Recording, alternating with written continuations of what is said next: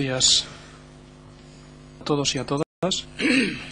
Bueno, gura bera, eh, ni saiatu behar naiz, eh, zenbait... eh, Voy a intentar, mediante unas diapositivas, dut, cuál es la definición de nuestros pilotos. Voy a hablar de su carácter, de su situación, de lo que queremos experimentar con este tipo de centros y con las y sobre las diferentes actividades que queremos llevar a cabo en los mismos. Y por último, mediante unas pocas diapositivas, os daré también datos sobre algunas experiencias de, del País Vasco, pero como ya he hablado de ellas en las comunicaciones, bueno, me centraré de una forma bastante superficial. Eh, Como sabéis, eh, Este año han estado en este plan premia 100 centros, han participado 100 centros Eh, a los que se les ha dado equipamiento informático. También toda la te- te- tecnología necesaria para la comunicación. De esos 100 centros, 18 fueron elegidos como centros piloto por parte, bajo la dirección de innovación pedagógica, presentaron un proyecto en torno a las nuevas tecnologías. Como, les de- como os decía, fueron elegidos 18 centros, ya me centraré más adelante en ellos. ¿Y qué es lo que hemos hecho? A lo largo de seis meses hemos trabajado con ellos. Todo el equipamiento no ha llegado, no ha llegado a los centros, pero yo creo que a partir del siguiente tri- trimestre estará en los centros y es a partir de entonces cuando pondremos en marcha un plan que abarcará también temas relativos a la formación. Estos centros son bastante diversos, tanto en cuanto a las etapas que parten, porque aparecen centros de las etapas, y también en cuanto a las provincias, porque son centros de tres provincias. También tienen carácter diferente y como objetivos a medio plazo, y esto evidentemente afecta a todos los centros del País Vasco, lo que querríamos es que un tercio del currículo, hemos limitado a un tercio, querríamos que ese tercio del currículo fuera impartido mediante instrumentos electrónicos. Tenemos que entrar en un proceso profundo. de reflexión, es eso lo que pensamos, y partiendo de la experiencia de estos centros pilotos, intentaremos que se aplique luego todo lo aprendido en el resto de los centros hasta llegar a esos 100.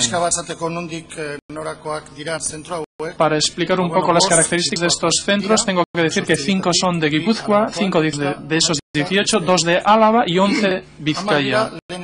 10 son centros de primaria, 3 de la ESO, educación secundaria obligatoria, otros 3 del bachillerato, aunque también se incluyen algunos módulos, uno es de la Escuela Oficial de Idiomas y otro de la educación permanente de adultos de la EPA. Como veis, hemos tratado de que aparezcan centros de diferentes características para que el experimento sea mucho más exhaustivo.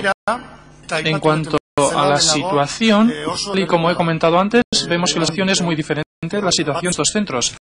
Algunos de los centros están bien abastecidos de material necesario para estas nuevas tecnologías, son capaces de trabajar en algunos temas relativos a las nuevas tecnologías, pero otros carecen de todo tipo de instrumentos. Por otra parte, aparecen diferentes etapas, tal y como comentaba antes, y esta diversidad de los centros puede ser buena para ver cómo funciona, pero también para que pero también podemos ver por otra parte que puede crear problemas al organizar a todos ellos. Tuvimos una reunión hace poco ellos llegamos a un acuerdo en esa reunión y qué es lo que veis que muchas veces tenían problemas para relacionarse entre ellos.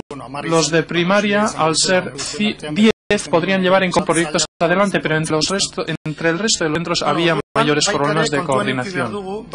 Por otra parte también tenemos que tener en cuenta que cada centro tiene un proyecto propio y que nosotros intentaremos actuar, pero en general, no con el proyecto concreto de cada centro. Se le apoyará evidentemente a cada centro. Nosotros tendremos un punto de vista global o general. Eh, Vemos que hay una falta de costumbre en la utilización de las nuevas tecnologías en todos los centros, al menos por ahora. Y se ha incidido en- bastante en eso, esto es, que ellos han subrayado el tema relativo a la formación, quieren que esa formación llegue a todo el profesorado, quieren impartir esa información relativa a las nuevas tecnologías en el profesorado mediante diferentes concretos. Muchas veces también se usa mucho del voluntarismo de algunas personas para que esa formación llegue a todo el claustro. Y por otra parte, también hemos visto que la infraestructura que tienen muchas veces es bastante reducida y se, de- se ha desarrollado muy poco. En algunos centros ocurre que disponen de la red en las aulas de informática, pero muchas veces no las utilizamos, no utilizamos esa red. Están interconectados mediante la red, pero no hacen un uso correcto o no usan suficientemente la red. No nos hemos dado cuenta de eso. Entre los objetivos de las actividades que se quieren llevar adelante, destacaríamos las siguientes. Por una parte, que Internet esté o llegue a las manos del profesorado y del alumnado, que estos proyectos piloto estén en manos del esto es, unir a todos los centros piloto y que dispongan de un foro en el que puedan mostrar sus dudas. Por otra parte, que en todas estas iniciativas reciban ayuda necesaria y que se pueda evaluar lo que se ha hecho en estos seis meses para que luego sirva al interés común. Por otra parte, también intentar detectar las posibles, los posibles errores que puedan darse. Por otra parte, se quiere trabajar en las posibilidades que ofrece Internet para el trabajo cooperativo. Y, por último, darse cuenta de las soluciones que nos propone todo esto. Vamos a hablar de un entorno virtual, ya lo explicaré más tarde, y también deberemos saber cuál es la respuesta que recibimos por parte de un entorno virtual como el que describimos. Y bueno, hablaremos ahora de diferentes actividades. Lo pactamos el mes pasado. Esto es, nos quedamos, quedamos en reunirnos una vez al mes con los responsables. Había que concretar también una dirección electrónica. Recibido todos, sus direcciones electrónicas para que estemos intercomunicados. Y por otra parte, también queremos crear un entorno virtual de comunicación y para que todos tengamos conocimiento de las experiencias del resto. También queremos experimentar en el tema de la teleformación y con algunos miembros de los claustros. Y también debemos de intentar apoyar la identidad digital del centro. Esto es que se cree esa identidad digital del centro, es las páginas web, saber qué es lo que queremos comunicar mediante esas páginas web, saber si conviene disponer de un libro de estilo en torno a estos temas. Estamos comunicándonos cada vez más de cara al exterior y cada uno lo hace como puede, pero muchas veces los contenidos no tienen nada en común. Es por eso por lo que conviene intentar definir unas líneas de estilo que sirvan de línea para todos. ¿Cuáles son los recursos, recursos humanos disponibles? Por, por, una parte tenemos los asesores de nuevas tecnologías de los COP que una vez a la semana acuden a esos centros para intentar responder a sus necesidades. Por otra parte tenemos el grupo de Eleja Barri, su servidor que aparece aquí, ofrece ayuda telemática. Por otra parte están los responsables de los centros. En cada centro un responsable que se ocupe estos temas. El tema será un recurso humano muy importante, es el responsable de cada centro. Para algunos temas puntuales y determinados, muchas veces podremos recurrir a contratar empresas privadas, por ejemplo, para la teleformación, y también disponemos como recurso humano con el apoyo de todas las personas que participan en este proyecto. Con su colaboración no podemos seguir adelante. Este entorno virtual que queremos crear es un entorno que ya lo hemos desarrollado instante publicaremos una página web cerrada. Hará falta una clave para acceder a esa página web y dispondrá de los siguientes ítems. Para empezar, en esa página web aparecerá cuál es el objetivo del proyecto. En segundo lugar, en el segundo ítem aparecen los diferentes centros pilotos que participan. También se da la posibilidad de comunicarse con esos centros y de comunicarse los unos con los otros. También vamos a definir un calendario para reuniones presenciales y también para todos los proyectos e iniciativas que se lleven a cabo.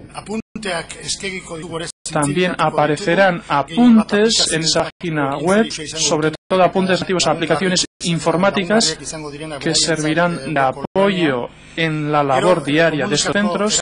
También crearemos listas de correo electrónico para comunicarse, también un foro de debate y un chat para que el profesorado vaya a acostumbrar, acostumbrándose a estos instrumentos de Internet, porque no estamos acostumbrados a usar estas herramientas de Internet y disponiendo de un entorno virtual como el que he descrito, quizás algunas personas pueden entrar en contacto con personas de otros centros y empiecen a acostumbrarse a este nuevo entorno. Y también, para estar en relaciones en relación con los responsables de las nuevas tecnologías, habrá una dirección. También daremos noticias de la bibliografía, bibliografía relativa a las nuevas tecnologías. También habrá diferentes links. También aparecerán proyectos que iremos creando y desarrollando a lo largo de los próximos seis meses y también habrá un lugar en el que se puedan recoger en este último ítem diferentes sugerencias. En cuanto a la teleformación, como todos sabemos, es una modalidad de enseñanza o de formación a distancia e intenta utilizar todos los instrumentos de Internet para llevar a cabo toda esta formación. Queremos experimentar con la teleformación en cierta medida, en la medida de nuestras posibilidades, con estos centros piloto. Y para ello disponemos de unos contenidos hay un cursillo relativo a las nuevas tecnologías, hay diferentes aplicaciones y también los contenidos curriculares. Hay una experimentación en lengua española y también otra en torno a la lengua vasca para la teleformación, que se pueden llevar a cabo mediante la teleformación. Y por último, y para finalizar, hay otras experiencias que ya he comentado antes, no me voy a extender, que bueno, creo que ya se han explicado aquí a lo largo de estos días, ya se ha hablado de algunas experiencias que ha habido en Euskadi, tanto ayer en esta aula como en la otra. Bueno, lo vemos es que hay unas experiencias en torno a las nuevas tecnologías, pero que, son, que están bastante isoladas y que muchas veces parten del puro voluntarismo de algunos centros. En cuanto a las aplicaciones informáticas, estoy hablando del profesorado y del alumnado, pero bueno, vemos que es el alumno el que acude a las aulas informáticas. Y no voy a hablar de los programas que utilizáis todos en las aulas, de aplicaciones informáticas pero bueno, cada vez más vemos que se utilizan vemos que se utilizan cada vez más las, cada vez más las aulas de informática. Las actividades de Internet son bastante reducidas. En se imparte Internet en primaria y en eso cómo funciona todo lo de los buscadores, pero las experiencias mediante Internet entendemos que son bastante reducidas y que hay que potenciarlas, que hay que potenciar esa comunicación entre diferentes centros y únicamente entre los centros pilotos, sino en todos los centros, porque aunque a nivel, curricular se imparte esta materia, luego experiencias son bastante reducidas. Hay luego otras experiencias, por ejemplo, las páginas web, los centros que son cada vez más numerosas, los centros quieren salir al exterior suelen estar ubicados estos contenidos en diferentes servidores. Muchas veces servidores son capaces de llegar a una interactividad y por lo tanto deberíamos de intentar que se coloquen o se ubiquen en los servidores adecuados y como he comentado antes quizás habría que definir o redactar un libro de estilo para que se cumplan unas normas mínimas para que se garantice cierta coherencia. Por lo tanto, ya, es muy importante lo de ese libro de estilo. Y luego está la página web del profesorado. Durante estos días se nos ha hablado de ese tema y los profesores están cada vez más colocando ahí sus contenidos.